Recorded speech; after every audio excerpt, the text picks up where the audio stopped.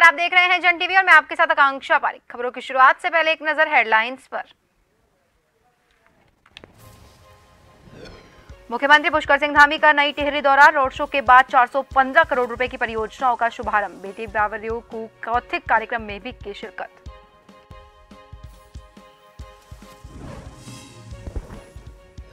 Invest summit के MOU को लेकर विपक्ष ने सरकार को घेरा। अभी तक केवल तैतालीस हज़ार करोड़ की ग्राउंडिंग इससे जल्द से जल्द पूरा करने की मांग।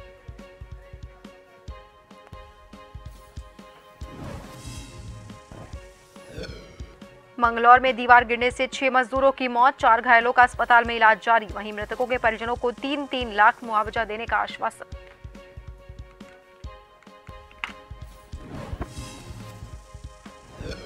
नैनीताल में आदमखोर के आतंक का अंत पकड़ा गया। तीन महिलाओं को मारने वाला बाघ। वन विभाग का पूरी रात चला रेस्क्यू ऑपरेशन।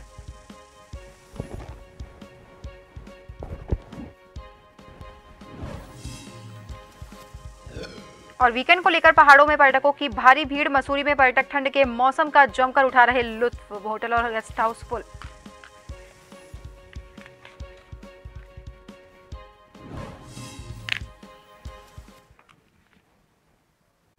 और अब खबरें विस्तार से। उत्तराखंड के मुख्यमंत्री पुष्कर सिंह धामी ने मंगलवार को नई टिहरी में गणेश चौक से प्रताप इंटर कॉलेज तक रोड शो किया। मुख्यमंत्री पुष्कर सिंह धामी इलाके के लिए 415 करोड़ रुपए की परियोजनाओं का शुभारंभ करने के लिए नई टिहरी में मौजूद थे। इस दौरान सीएम धामी ने प्रताप इंटर कॉलेज बौराड़ी में आयोजित बेटी बावरियू कु कौथिक कार्यक्रम में बतौर मुख्य अतिथि शिरकत की। इसके साथ ही जनपद टिहरी में 415 करोड़ पिचहत्तर लाख से ज़्यादा धनराशि की 160 योजनाओं का लोकार्पण और शिलान्यास कर जनपद वासियों को विकास की सौगात दी। इस मौके पर मुख्यमंत्री ने 201 करोड़ बत्तीस लाख चौहत्तर हज़ार धनराशि की चौवालीस योजनाओं का लोकार्पण और 214 करोड़ तैतालीस लाख दो हज़ार धनराशि की 116 योजनाओं का शिलान्यास किया।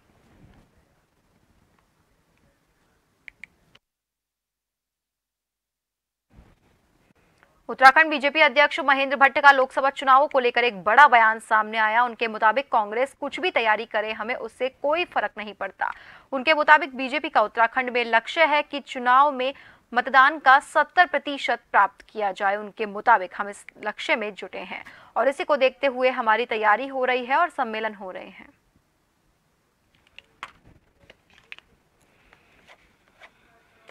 अब जब कांग्रेस इस बार भी तैयारी की बात कर रही है तो इसका मायने यह कि पहले बिना तैयारी के लड़ती थी। तो हम इस बार की तैयारी देखते हैं। भारतीय जनता पार्टी अपने संगठन के बल पर, कार्यकर्ताओं के बल पर हर चुनाव को जीतती है। और मैंने पहले भी कहा है कि हम लोगों का जो लक्ष्य है इस बार, सत्तर मतदान का, सत्तर प्रतिशत अधिक मतदान भारतीय जनता पार्टी पक्ष में हो, उसकी रणनीति के तहत ही हमारी रचना तैयार हुई है।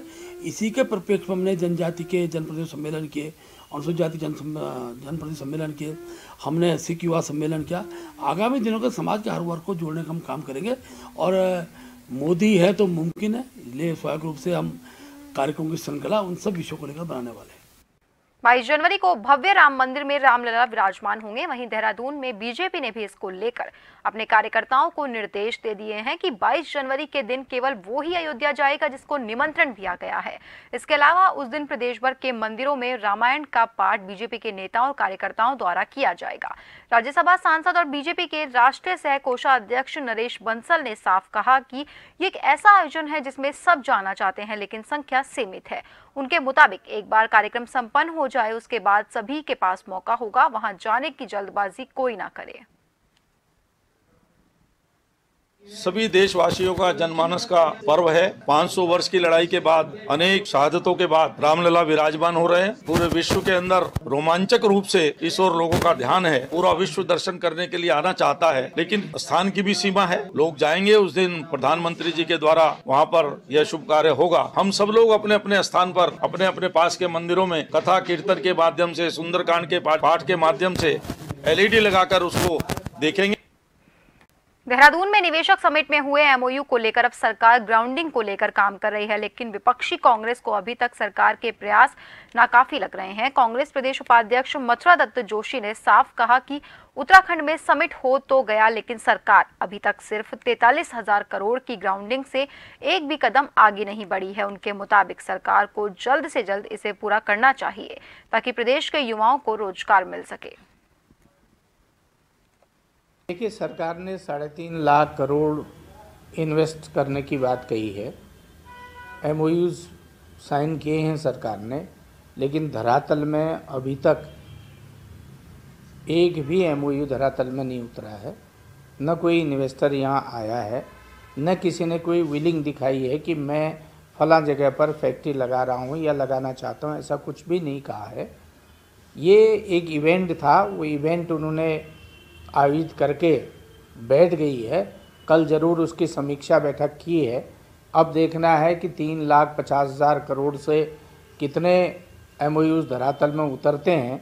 हमें तो आशंका है कि इस इन्वेस्टर समिट का भी हस्र वही होगा जो 2018 के इन्वेस्टर समिट का हुआ है। कांग्रेस भले निवेशक समिट के एमओयू की ग्राउंडिंग पर सवाल खड़े कर रही हो, लेकिन इसका अधिकारियों के दावे अलग हैं। वीसीएमडीडीए और डीजी शिक्षा बंशीधर तिवारी ने साफ़ कहा कि उत्तराखंड में सभी विभागों में ग्राउंडिंग को लेकर सीएम धामी के निर्देश पर काम हो रहा है। अपने विभागों को लेकर उन्होंने बताया कि एमडीडीए को दस हज़ार करोड़ का लक्ष्य मिला था, जिसमें से पाँच हज़ार करोड़ को अभी तक धरातल पर उतार दिया गया, बाकी भी जल्द पूरा कर लिया जाएगा। वहीं शिक्षा विभाग के तहत उत्तराखंड के पर्वतीय इलाकों में शिक्षक संस्थान खुलने हैं, उसमें ज़मीन दिखाई गई है। जो भी नियम होंगे उसको निर्धारित करते हुए जल्द काम पूरा किया जाएगा। में जितना हमें लक्ष्य दिया गया गया करोड़, उसमें आधे से ज़्यादा अब तक हम लोगों ने ग्राउंडिंग कर लिए। जो अभी बचा हुआ है शेष साढ़े चार पाँच हज़ार करोड़ है, उसको भी हम लोग अगले एक महीने में कंप्लीट कर लेंगे। शिक्षा विभाग के तहत अलग अलग जिलों में बोर्डिंग और डे स्कूल जो होते हैं, उसको बनाने के लिए प्रस्ताव मिले हैं और उनकी जो एक आम जो अगर बात करें उनकी जो परीक्षा है, वो जिलों में ज़मीन की उपलब्धता को लेकर तो समय जिलाधिकारी को हमने पत्र लिखा है। क्योंकि अच्छी बात यह प्रति क्षेत्रों में भी इस तरह के बोर्डिंग स्कूल बनाने के प्रस्ताव आए हैं, उसके सामने बैठक करने वाले हैं। बैठक करके जहाँ पर उनको जगह मुफीद लगेगी, वहाँ पर ज़मीन दिलाने का प्रयास किया जाएगा। अगर सरकारी होगी तो उसको दिया जाएगा कोई अगर निजी ज़मीन भी खरीदना चाहता है तो खरीद के बना सकता है। जो सर्विस सेक्टर पॉलिसी की पच्चीस परसेंट सब्सिडी है, वो उनको मिल जाएगी। रुड़की के मंगलौर कोतवाली क्षेत्र में लहबोली स्थित सालवी भट्टे की दीवार गिरने से लगभग 10 मजदूर दीवार के नीचे दब गए, जिसके बाद रेस्क्यू कर सभी मजदूरों को बाहर निकाला गया। उनमें से पाँच मजदूरों की मौके पर ही मौत हो गई। वहीं तीन मजदूरों को रुड़की के एक निजी अस्पताल में भर्ती करवाया गया, जिनमें एक मजदूर की भी इलाज के दौरान मौत हो गई। वहीं मंगलौर पुलिस के साथ साथ पुलिस आला अधिकारी भी मौके पर पहुँचे और रेस्क्यू को तेज कराया। मौके पर पहुँचे एसएसपी परमेंद्र सिंह डोभाल ने कहा कि छह मजदूरों की मलबे में दबने से मौत हुई। है और बाकी घायलों का इलाज किया जा रहा है। बाकी सभी पहलुओं को मद्देनजर रखते हुए जाँच जारी है। आठ लोग इसमें दब गए थे, जिसमें छह लोगों की मृत्यु की अभी तक हम लोगों के पास सूचना है। अभी दो लोग अभी हॉस्पिटल में हैं, उनका इलाज चल रहा है। आगे की जो भी कार्रवाई है उसके लिए हम लोग यहाँ पर मौजूद हैं बाकी आगे कार्रवाई की जाएगी। सर जो भट्टे के जो कुछ मतलब यहाँ पर परिवार हैं वो बता रहे हैं कि भट्टे की लापरवाही में इसकी जो हाइट है वो उन्होंने बढ़ा दी गई है। इसमें जो भी पुलिस के पास कंप्लेन आएगी और नहीं भी आएगी इसमें इसके खिलाफ हम लोग सख्त सालवी भट्टे पर हुई छह लोगों की मौत को लेकर मृतकों के परिजनों को राहत देने की कोशिश की गई, जहाँ एक और भट्टा मालिकों की तरफ़ से मृतकों के परिजनों को तीन तीन लाख रुपए का मुआवजा देने की बात कही गई है। तो वहीं प्रशासन ने घोषणा की है कि मृतकों को प्रशासन की तरफ़ से दो दो लाख रुपए दिलवाने की बात कही गई। फ़िलहाल सभी मृतकों की बॉडी पोस्टमार्टम के लिए भेजी गई है। वहीं घायलों का निजी अस्पताल में इलाज जारी है। मृतकों में तीन मजदूर उत्तर प्रदेश के मुजफ्फरनगर के और बाकी के तीन उत्तराखंड के हरिद्वार ज़िले के रहने वाले हैं।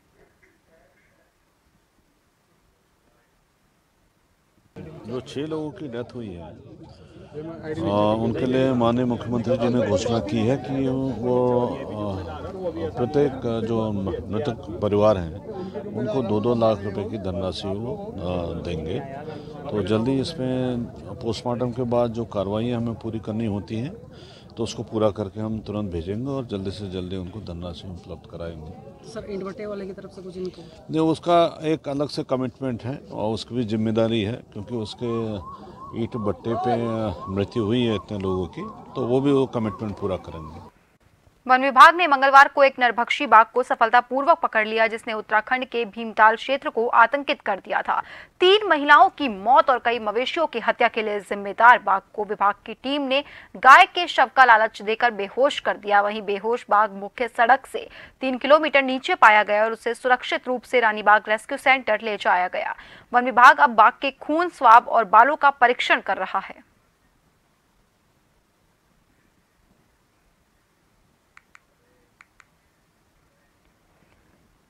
चंपावत के बाराकोट ब्लॉक के डठी गाँव निवासी लक्ष्मण नाथ उर्फ़ बाबा विनाशी ने मीडिया को दिए बयान में जानकारी दी और बताया कि बारकोट ब्लॉक के डठी गाँव में सरकार द्वारा चलाई गई कई जन कल्याणकारी योजनाएँ गाँव के दबंग और विभागीय अधिकारियों की मिली भगत से भ्रष्टाचार की भेंट चढ़ चुकी है।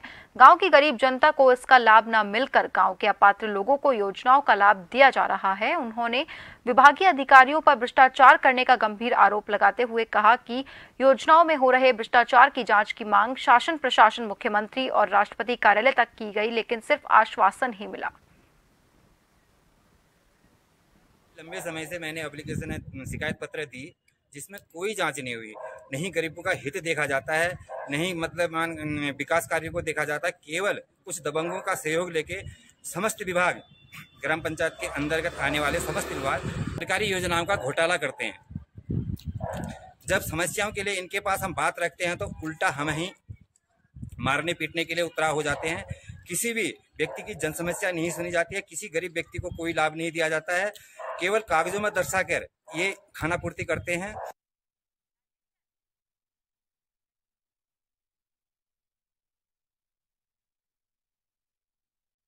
फ़िलहाल के लिए खबरों में रुकेंगे एक छोटे से ब्रेक के लिए।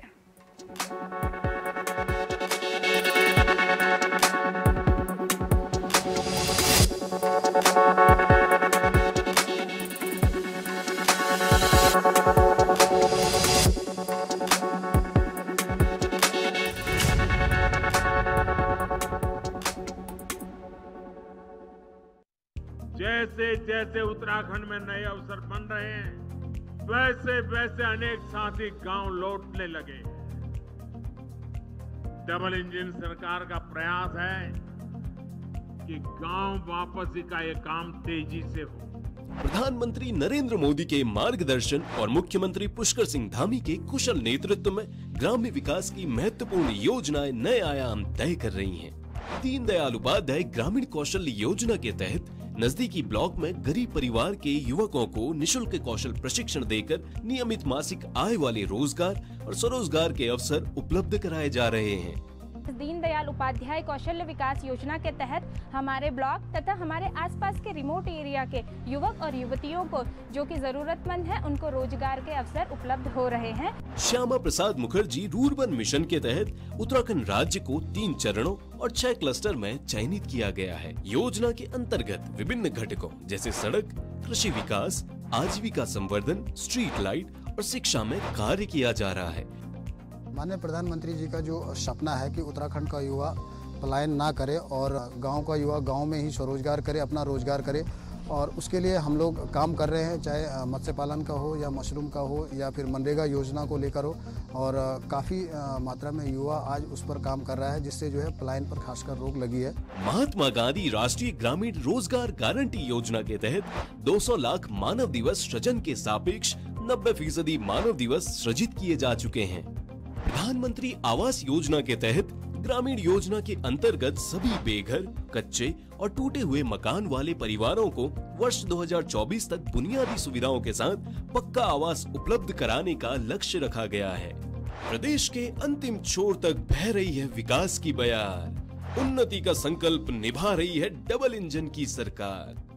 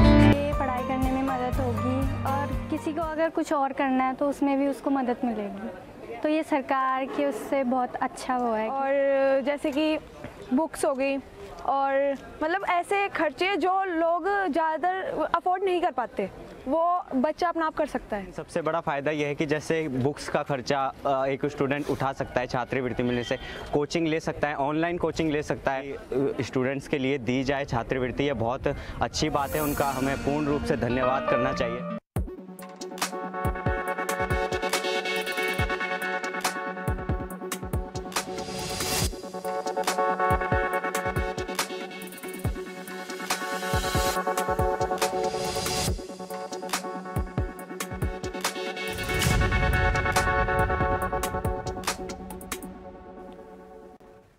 के बाद एक बार फिर से आप सभी का स्वागत है। बढ़ते हैं अगली खबर की ओर। डोईवाला में सर्वोच्च बलिदान देने वाले सिख साहिबजादों की याद में बाल दिवस मनाया गया। माजरी गाँव के शेरगढ़ जाखन में पाठ, अरदास और कीर्तन का आयोजन किया गया। रविदास गुरुद्वारा शेरगढ़ में आयोजित कार्यक्रम में डोईवाला के विधायक ब्रिजभूषण गैरोला और भाजपा नेताओं के साथ सिख समुदाय के लोगों ने भाग लिया। सिख समुदाय के लोग आज के दिन को गुरु गोविंद सिंह के साहिबजादों जोरावर सिंह और फतेह सिंह के बलिदान को याद करते हुए गुरुद्वारे में कार्यक्रम का आयोजन करते हैं और क्षेत्र में नगर कीर्तन का आयोजन करते हैं, जिसमें सिख समुदाय के लोग बढ़ चढ़कर हिस्सा लेते हैं।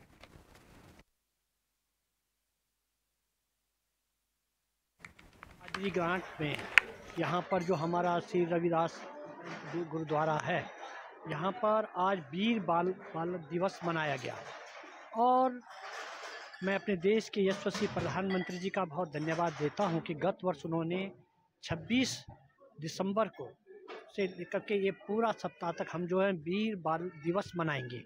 और हम जहाँ हमारे देश के अंदर आज ये उन वीरों को याद किया जा रहा है जिन्होंने धर्म की रक्षा के लिए अपने दसवें गुरु श्री गुरु गोविंद सिंह जी के शहजादे जो मात्र नौ वर्ष के और सात वर्ष के थे है सरहिंद में चिनवा दिए गए मुगल अक्रांतों के द्वारा। आज हम पूरे देश के अंदर अपने उत्तराखंड के अंदर भी और हमारी भारतीय जनता पार्टी के, के संगठन के द्वारा पूरे मंडलों पे हर जगह ये वीर बाल दिवस मनाया जा रहा है। कांग्रेस भले निवेशक समिट के एमओयू की ग्राउंडिंग पर सवाल खड़े कर रही हो, लेकिन अधिकारियों के दावे अलग हैं। वीसी एमडीडीए और डीजी शिक्षा बंशीधर तिवारी ने साफ़ कहा कि उत्तराखंड में सभी विभागों में ग्राउंडिंग को लेकर सीएम धामी के निर्देश पर काम हो रहा है। अपने विभागों को लेकर उन्होंने बताया कि एमडीडीए को दस हज़ार करोड़ का लक्ष्य मिला था, जिसमें से पाँच हज़ार करोड़ को अभी तक धरातल पर उतार दिया गया। बाकी भी जल्द पूरा कर लिया जाएगा। वहीं शिक्षा विभाग के तहत उत्तराखंड के पर्वतीय इलाकों में शिक्षक संस्थान खुलने हैं, जिसमें ज़मीन दिखाई गई है। जो भी नियम होंगे, उसको निर्धारित करते हुए जल्द काम पूरा किया जाएगा। में जितना हमें लक्ष्य दिया गया, दो हज़ार करोड़, उसमें आधे से ज़्यादा अब तक हम लोगों ग्राउंडिंग कर लिए। जो अभी बचा हुआ है शेष साढ़े चार पाँच हज़ार करोड़ है, उसको भी हम लोग अगले एक महीने में कंप्लीट कर लेंगे।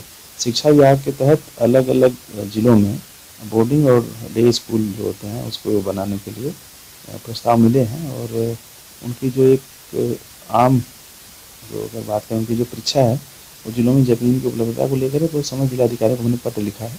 चूँकि अच्छी बात यह प्रति क्षेत्रों में भी इस तरह के बोर्डिंग स्कूल बनाने के प्रस्ताव आए हैं, उसके सामने बैठक करने वाले हैं। बैठक करके जहाँ पर उनको जगह मुफीद लगेगी, वहाँ पर ज़मीन दिलाने का प्रयास किया जाएगा। अगर सरकारी होगी तो उसको दिया जाएगा। कोई अगर निजी ज़मीन भी खरीदना चाहता है तो खरीद के बना सकता है। जो सर्विस सेक्टर पॉलिसी की 25 परसेंट सब्सिडी है, वो उनको मिल जाएगी। देहरादून में शत्रु कानून और मूल निवास के मुद्दे को लेकर महारानी निकल गई, जिसमें साइगान की संख्या में तमाम संगठन और लोगों ने हिस्सा लिया। वहीं इस पर विपक्षी दल, कांग्रेस और अन्य संगठनों को जवाब देते हुए राज्यसभा सांसद नरेश बंसल ने कहा कि भारतीय जनता पार्टी और धामी सरकार आम जनता की सरकार है। नरेश बंसल ने कहा कि जनता ने सरकार बनाई है तो सरकार कोई भी फैसला लेगी तो जनता के हित में लेगी सरकार या भारतीय जनता पार्टी, ये आप सबकी पार्टी है। यहाँ के सब निवासियों की पार्टी है। उन्होंने अपना समर्थन देकर सरकार बनाई है। सरकार का कोई भी काम यहाँ की जनता के हित में होगा। हमारे यशस्वी मुख्यमंत्री जी ने, राधा रतुड़ी जी के नेतृत्व में समिति बनाई है। उसकी रिपोर्ट आएगी। उस रिपोर्ट का विश्लेषण करने के बाद मंत्रिमंडल के माध्यम से जो भी कुछ होगा जनता के हित में ही होगा पिथौरागढ़ भाजपा कार्यालय में जिला अध्यक्ष गिरीश जोशी की अध्यक्षता में लघु सिंचाई सलाहकार समिति के उपाध्यक्ष गणेश भंडारी दर्जा मंत्री का भव्य स्वागत किया गया। एचौली धारी धमोड़ पंचायत भवन के पास इनका भव्य स्वागत किया गया। उसके बाद जुलूस के रूप में रैली निकाली गई और जगह जगह भंडारी का स्वागत सम्मान किया गया।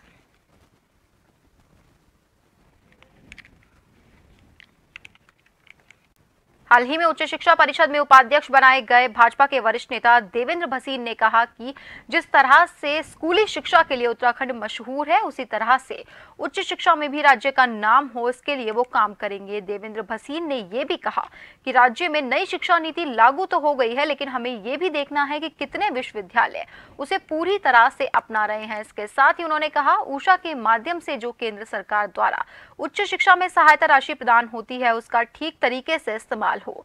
वहीं इसके साथ ही उन्होंने कहा, सबसे ज़्यादा ज़रूरत इस बात पर ध्यान देने की है कि शोध कार्य किताबी नहीं, बल्कि जमीनी होने चाहिए, इस पर भी उनका विशेष फोकस रहेगा। जिस प्रकार से प्रदेश की स्कूली शिक्षा का पूरे देश के अंदर एक नाम है, देश के बाहर नाम है, उसी प्रकार से उच्च शिक्षा के बारे में भी एक वातावरण बने। और इसमें बहुत ज़रूरी है कि हम इसके लिए और आगे कार्य करें और माननीय मुख्यमंत्री जी के और शिक्षा मंत्री जी के कामों को गति दें।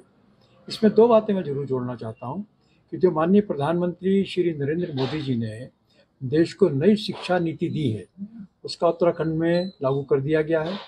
अब ये देखने की स्थिति है कि इसको सही ढंग से जो है सभी जो महाविद्यालय हैं और विश्वविद्यालय हैं, वे इसको अपना रहे हैं, लेकिन सही ढंग से लागू भी करें साल की तरह इस साल भी तपोवन न्याय पंचायत में लाडली दिवस का भव्य आयोजन किया गया। लाडली दिवस के मौके पर जोशीमठ ब्लॉक के अंतर्गत आने वाले दर्जनों गाँव की किशोरियाँ इस खास कार्यक्रम में शामिल रही। इस दौरान एक रैली और सांस्कृतिक कार्यक्रम का आयोजन भी किया गया और इस लाडली दिवस के मौके पर तमाम सरकारी विभागों ने अपने स्टॉल लगाकर इस कार्यक्रम की शोभा बढ़ाई। और अब आखिर में एक नज़र हेडलाइंस पर। मुख्यमंत्री पुष्कर सिंह धामी का नई टिहरे दौरा, रोड शो के बाद 415 करोड़ रुपए की परियोजनाओं का शुभारंभ, बेटी बावरियू को कौतिक कार्यक्रम में भी की शिरकत।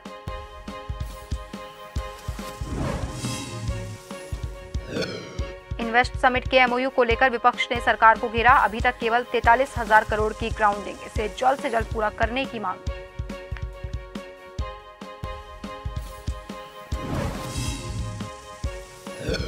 मंगलौर में दीवार गिरने से छह मजदूरों की मौत, चार घायलों का अस्पताल में इलाज जारी। वहीं मृतकों के परिजनों को तीन तीन लाख का मुआवजा देने का आश्वासन।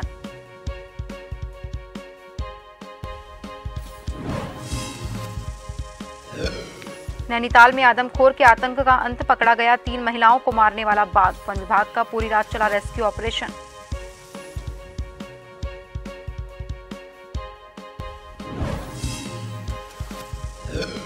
और वीकेंड को लेकर पहाड़ों में पर्यटकों की भारी भीड़, मसूरी में पर्यटक ठंड के मौसम का जमकर उठा रहे लुत्फ, होटल और गेस्ट हाउस फुल